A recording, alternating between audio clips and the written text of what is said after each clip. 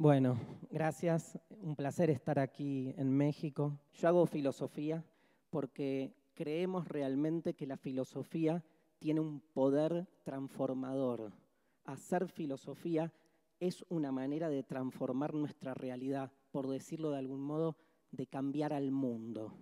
Es raro porque vieron que cuando uno piensa en la palabra filosofía uno recuerda la materia que tuvo en el colegio o piensa, como se escuchaba recién, que es un saber muy erudito, un saber para pocos, como que no todos tienen esa capacidad. Yo tuve un profesor cuando estudié filosofía que decía que las mujeres no alcanzaban el mismo grado de desarrollo racional y no podían hacer filosofía como los hombres. Y estoy hablando del año 1990. O sea, es realmente un tipo de saber que siempre se ha apreciado de sí mismo, este, estar como en una altura diferente al resto de las disciplinas.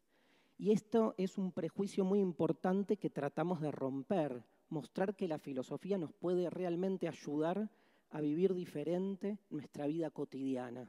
Algo muy difícil, sobre todo porque vieron que el otro prejuicio que hay es que la filosofía en general, digamos, es pura palabra, ¿no? O se hace preguntas que, que, son preguntas que en algún punto terminan siendo improductivas, ¿no? Tiene poco que ver con la vida cotidiana. Fíjense las preguntas que se hizo Fernando. Digamos, ¿qué, ¿qué nos ayuda o cómo nos ayudaría preguntarnos por el sentido de la vida, preguntarnos por esas grandes cuestiones existenciales, ¿en qué nos ayudaría a vivir mejor? Parecería que no tiene nada que ver con lo cotidiano. Y sin embargo, digamos, lo que nosotros de algún modo queremos mostrar es que todos pueden hacer filosofía, es que es un aspecto de nuestro pensar que todos poseemos, todos podemos desarrollar esa faceta de preguntarnos por todo. Es que en definitiva, ¿qué es hacer filosofía?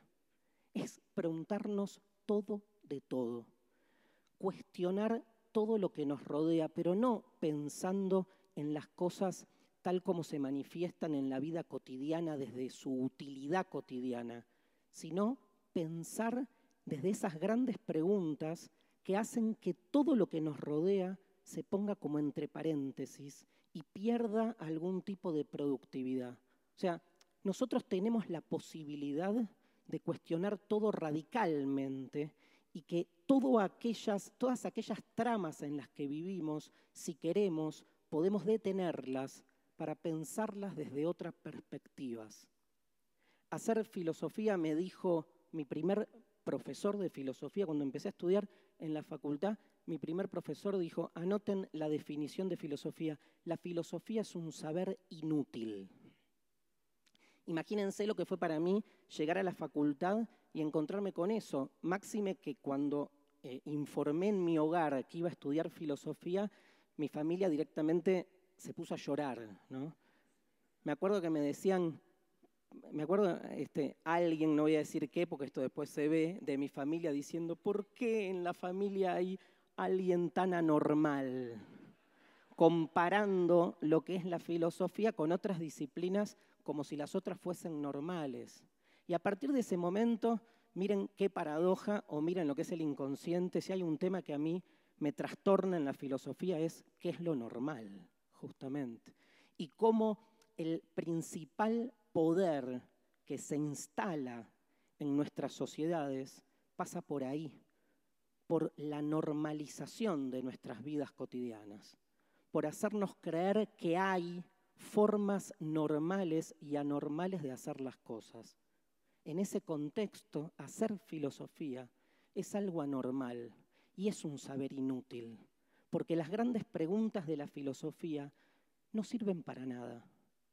No se construyen puentes con la filosofía, no se curan enfermedades, todo lo contrario, la pregunta, la pregunta por el por qué, que es la pregunta madre de la filosofía, lo que hace es inutilizar a la realidad. Yo después entendí, cuando mi profesor me decía que la filosofía es un saber inútil, que lo que me quería decir es que es un saber inútil porque se pregunta por qué todo tiene que servir para algo. ¿Por qué todo tiene que ser útil? Por eso es inútil. Cuestiona la utilidad de las cosas. Ninguno de nosotros hacemos nada que no sirva para algo, pero eso ya es un valor, un valor que se instala. La utilidad para mí es el valor desde, eh, desde el cual el poder mejor ejerce su tarea. Piensen por un minuto, ¿qué sería hacer algo que no sirva para nada? Imposible, ¿no? Todo lo que hacemos tiene que servir para algo y para alguien porque el verbo servir es un verbo muy particular. Nos muestra, por un lado, el sentido utilitario de todo lo que hay, pero nos esconde que detrás de todo lo que se nos presenta como evidente, normal, natural, obvio, útil, hay otras perspectivas que se obturan. Nada es definitivo. Todo puede ser de múltiples maneras o de múltiples perspectivas, pero cómo actúa el poder. Y hablo del poder en todas sus dimensiones. No hablo de un poder central, hablo de esas relaciones de poder, como decía un famoso pensador Foucault, que se manifiestan en todos nuestros vínculos, en todo lo que hacemos. El poder tiene justamente esa, esa fuerza, que es que se instala sin que lo veamos. No hay peor poder el que no se ve. Porque cuando el poder se ve de frente, uno sabe contra quién tiene que pelear. Pero cuando el poder logra encaramarse con el saber y presentarse como si sus intereses fuesen intereses de todos, el poder ganó. Por eso es muy importante la tarea de la filosofía, pero no hablo de la academia, no hablo de estudiar filosofía en la universidad, hablo de esa capacidad que tenemos todos de ejercer la pregunta de la filosofía, hacernos esas grandes preguntas, por inútiles que parezcan. ¿Por qué son inútiles? Porque la pregunta de la filosofía es la pregunta por lo obvio. Esa fue la segunda definición que me dio ese mismo profesor. Me dijo, ahora, segunda definición, la filosofía es el análisis de lo obvio. Yo ya venía con que era un saber inútil, con qué le iba a decir a mi madre, y ahora, digamos, algo peor, el análisis de lo obvio. Si es obvio, ¿para qué hay que analizarlo? Es que justamente por eso es tan extraña la pregunta filosófica, porque se pregunta por lo obvio. Lo obvio, ¿saben de dónde viene la palabra? Obvio significa, viene de vía, ¿vieron? Obvio, ese ob es lo que está enfrente mío. Y vía, la vía que está tan enfrente mío que yo creo que es el único camino existente. Y no veo otros, las otras posibilidades que también se nos pueden abrir. Si yo les preguntase a ustedes, ¿cómo salimos de aquí? Ustedes me darían una respuesta obvia por allá buscamos rápidamente la puerta y nos vamos. Si yo le preguntase esto a mi hijo de tres años y le dijese, hijo, hay que salir de aquí, ¿saben qué haría mi hijo? Empezaría a caminar entre ustedes, les daría una palmadita a cada uno, a algunos que otros les daría un beso también porque él es muy cariñoso, y daría vueltas, y jugaría, y contaría cuántas sillas hay, y después de un largo tiempo y trecho, saldría seguramente por la misma puerta por la que salimos nosotros tres horas antes. ¿Y quién de los dos tiene la razón? ¿O no es también una forma de salir? Pero esa forma de salir, ¿qué diríamos nosotros? Qué improductivo, qué pérdida de tiempo. Lo que preguntó Darío es cómo salir de acá.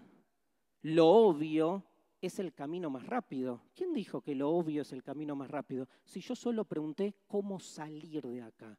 No dije cómo salir de acá para poder alcanzar la puerta del modo más rápido, subirse al medio de transporte del modo más veloz para llegar rápidamente a nuestro trabajo del modo más rápido para que no nos descuenten el presentismo y entonces nos alcance el salario a fin de mes para poder pagar el alquiler de nuestra casa y reproducir nuestra fuerza de trabajo para el otro día seguir trabajando para que otros vivan de nuestro trabajo.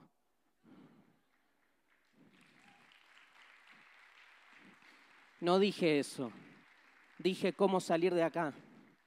Y mi hijo salió como quiso, porque lo que hay detrás es justamente esos valores que están opacados, que en nombre de la normalidad uno no los visualiza. Me acuerdo en la secundaria, se dice en la Argentina, no sé aquí cómo es, también, la secundaria, tuve un profesor que en ciencias sociales intentó explicarnos marxismo, intentó. Todos los adolescentes que estábamos ahí estábamos en otra cosa. Y en un momento nos dijo, les voy a hacer una pregunta, ¿para qué sirven los ventiladores? Todos nos miramos como diciendo, venimos al colegio para esto. A ver, para que den frío, para que este, no tengamos calor. No sé, ¿qué quiere preguntar, profesor? ¿Es una pavada? ¿Para pasarla mejor? No, dijo, para que el dueño de la fábrica de ventiladores gane plata. Y es otra forma, es otra forma con la que también, no es que no dan fresco, dan fresco, pero nadie se pone a pensar que de cualquier acontecimiento que vivimos hay toda una serie de otras tramas posibles que dejamos de lado. Porque el poder básicamente lo que hace es trabajar, como les decía, del modo más efectivo, que es instalándose como si fuese una verdad incuestionable. Por eso dice Nietzsche que solo se puede hacer filosofía a martillazos. Filosofía a martillazos que suena violento, pero no de una violencia física, sino de la violencia del pensamiento, de la capacidad que tenemos todos, si queremos, de ir hacia esos conceptos bien macizos, bien sólidos, que parecen absolutamente inmodificables, y darles duro, pero darles duro para abrirlos, para mostrar que hay muchas otras perspectivas posibles. Yo encontré ese martillo en la filosofía y trato de compartirlo con la mayor cantidad de gente posible a través de un programa de televisión, de un programa de radio, para que cada uno pueda incorporar en su vida cotidiana la pregunta de la filosofía como un modo de realmente pensar que todo puede ser de otro modo. La pregunta por la, de la filosofía es la pregunta por el por qué. Una pregunta infantil, ingenua. ¿Saben que infante, infancia, etimológicamente viene de foné, que significa voz? O sea, un infante es el que no tiene voz. Y no son los niños los que ponen en jaque ese sentido utilitario de lo real.